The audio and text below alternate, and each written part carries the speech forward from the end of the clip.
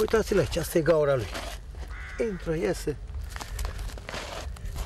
Ia uitați, aici alta. Deci la fiecare pas uh, gaură de șoarece.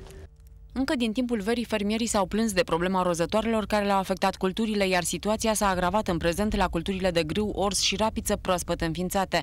Pe lângă pierderile pe care le vor suferi la producție, agricultorii se plâng că se văd nevoiți să investească sume mari neprevăzute în combaterea dăunătorilor.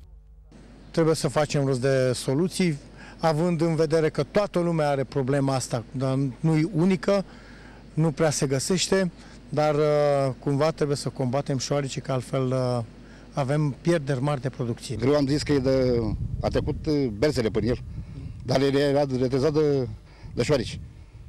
Deci eu o să fac 4 tone și am făcut 2 tone și jumătate. Deci 50% m-a, m-a afectat la greu. Dar la, la pepeni de 100%, deci la pepeni n-am făcut chiar, n-am făcut nimic. Sunt foarte mulți, deci am observat că sunt foarte mulți. Ați mai văzut așa ceva în ultimii nu, ani? Nu, nu, nu, nu, nu. A fost și iarna trecută că am pus uh, o treabă pentru ei, dar ca acum nu, nu am văzut de când lucrez uh, pe câmp.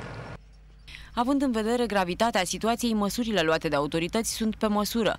Ministerul Agriculturii a aprobat folosirea pe termen limitat a unei substanțe cu grad ridicat de toxicitate, a cărei utilizare a fost limitată de Uniunea Europeană.